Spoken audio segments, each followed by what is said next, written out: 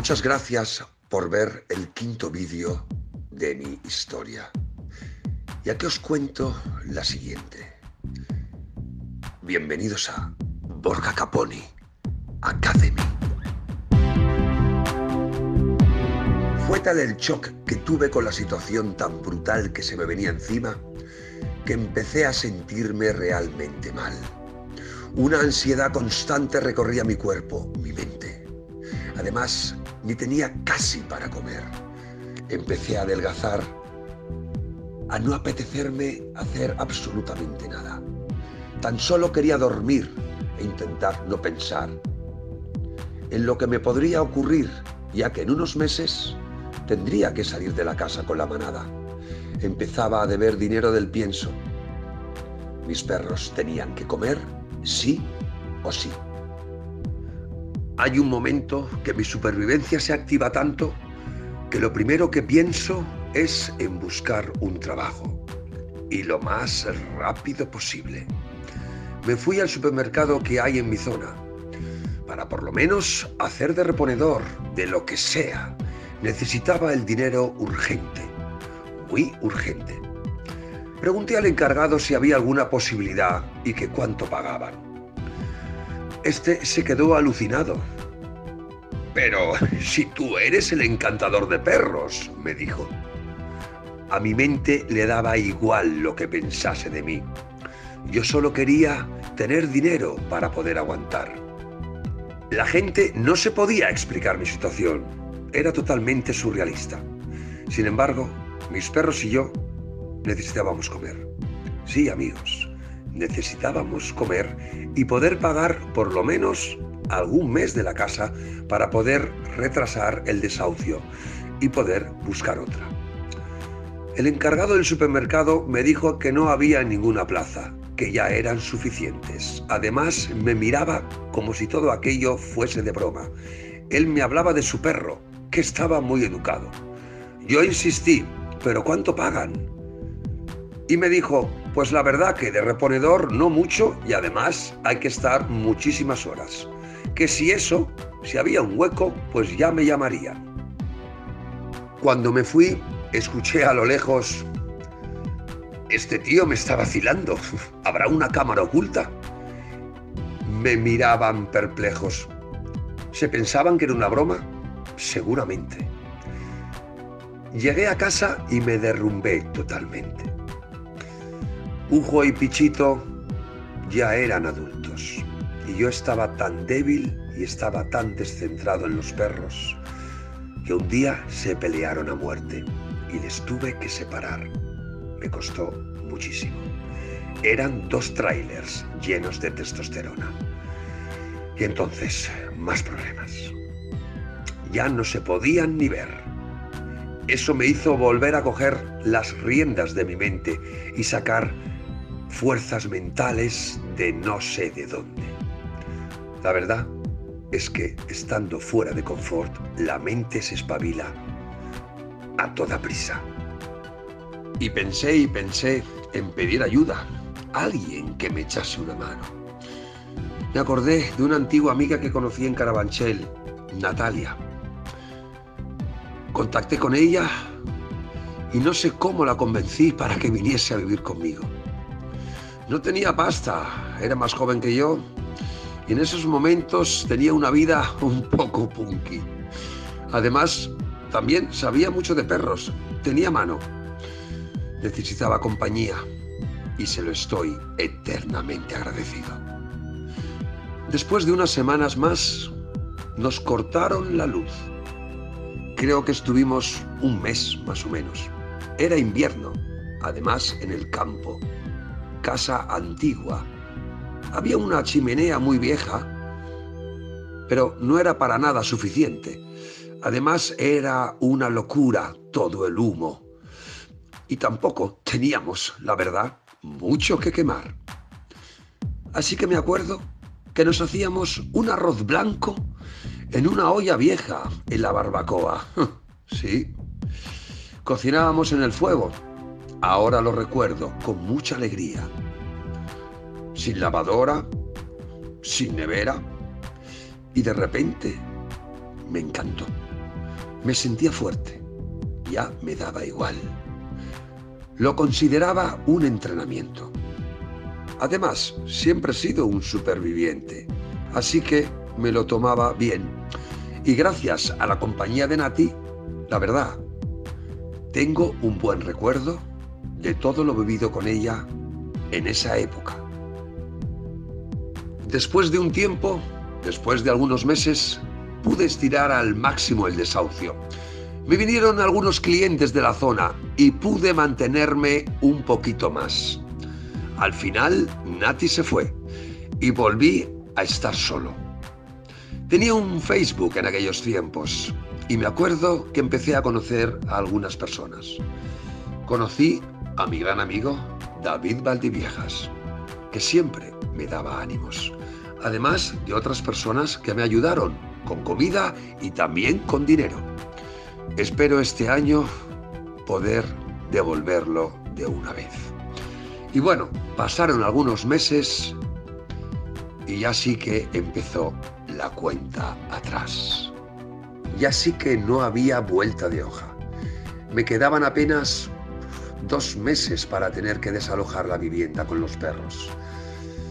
Decidí volver a llamar a la productora, destrozado, angustiado, pidiendo auxilio. Casi me colgaban. Hubo un momento que me volvía loco de verdad. Gritaba por el campo, ¿por qué? ¿Por qué? También llamé al director dos o tres veces, ellos lo saben. Y también llamé a otra persona que sigue saliendo en la 4. No diré su nombre. ¿Para qué? Era una angustia brutal. No tenía ya casa, ni dinero, ni nada. Menos mal que me fiaban el pienso de los perros. José de Piensos de Campo Real. Hasta fui por una parte atrás de, de, de mi casa que había unos túneles y era un refugio la verdad que me empecé a mentalizar que podría terminar ahí. No es broma, amigos. No es ninguna broma. Ya hay un momento, después de unas semanas, que ya mi mente estaba muy herida, muy cansada, una ansiedad increíble. Cansado, asustado, cabreado. Me acuerdo que tenía una vecina, Luz, una gran amiga, que me ayudaba de vez en cuando. Me traía comida, me daba muchos ánimos y también creo recordar que me pagó algún mes de la casa. Me ayudaba con los perros. Tampoco estaba muy bollante. Bueno, ya muy quemado, la verdad. Me entraron ganas de hacer algo que jamás podría imaginarme. Quitarme la vida. Solo quería descansar la mente. Y punto. Lo pensé algunos días. Me dormía, era mi defensa. Olvidarme de todo. Solo quería eso. Olvidarme de todo. Gracias a mis perros seguí adelante. Esa es la verdad. Bueno, ya me estaba haciendo a la idea que tenía que irme a aquel túnel. Eurovillas, arriba donde el mirador.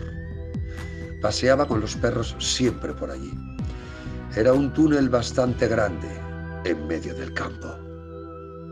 Y entonces, un día, mi amiga Luz me presentó a unos posibles clientes.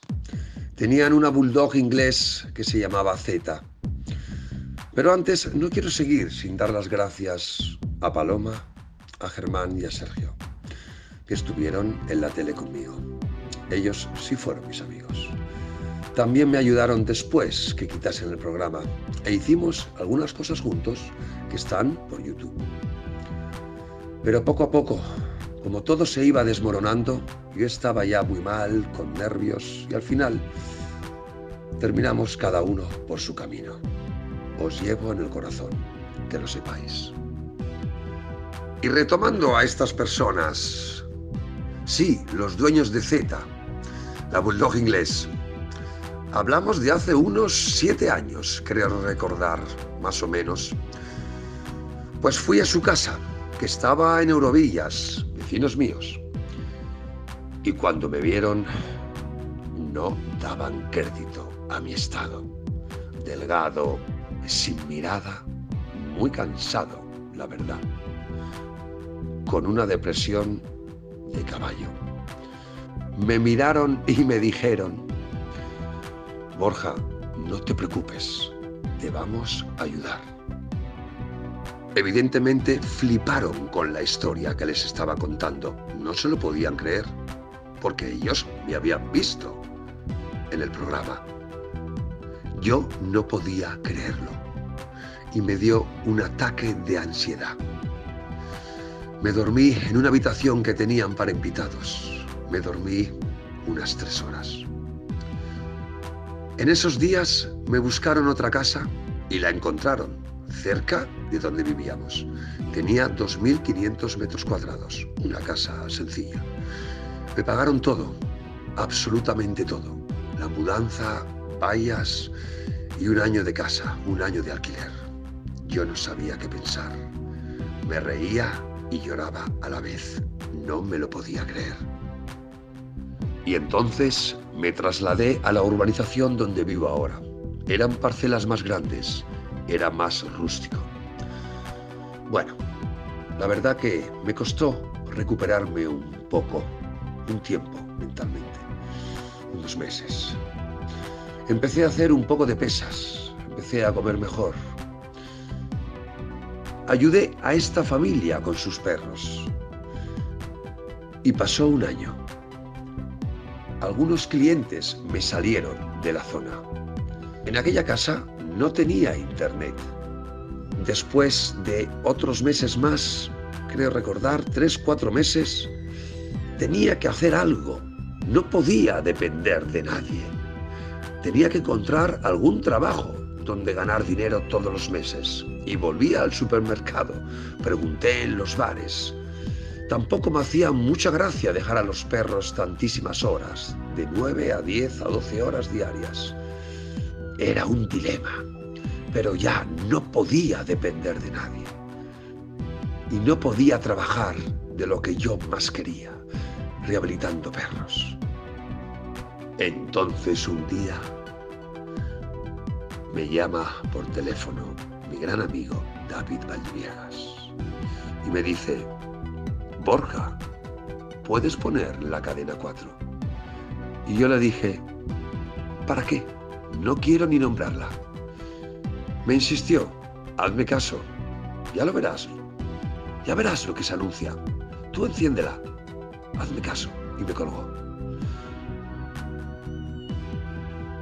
La puse bastante enfadado. No me apetecía nada. ¿Qué me iba a encontrar? ¿Algún programa de perros? con otra persona, eso hubiera sido ya el acabose. Aguanté unos minutos y de repente ponen un anuncio.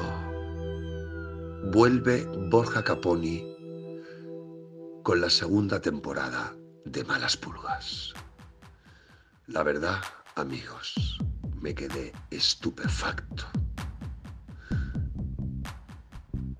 llevan más de cinco años reponiéndola, la segunda y la primera temporada.